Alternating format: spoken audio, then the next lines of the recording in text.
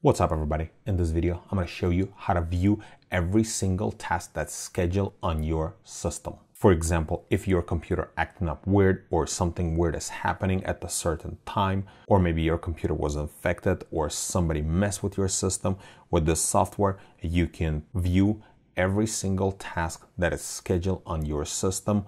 So to download the program, open your internet browser and go to this website and I'll leave a link in the description below.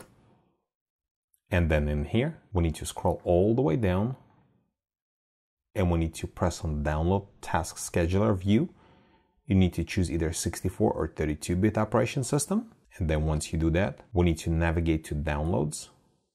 And then in downloads, right click on your task scheduler and then press on extract all and then press on extract.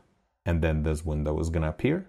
Just double click on task scheduler view executable the new window is going to appear and it's going to show you every single task that is scheduled. And right here, you can click on status. It's going to show you all disabled and all ready. If you click one more time, it will show you which ones are running and which ones are ready. In previous video, I showed you how to make auto shutdown. And as you can see right here, I have this task right here, auto shutdown.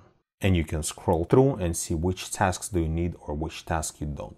And then right here, you can see when the task ran last time and when it's going to be the next time. For example, auto shutdown, it was done a few minutes ago. And then the next time it's going to be tomorrow at 7.04. And then also right here, you can see if it's run daily, run weekly, or if you scroll more down, you can see monthly, or if it's only one time. And this is pretty much it. If this video is helpful to you, press that like button and don't forget to subscribe. Thanks for watching.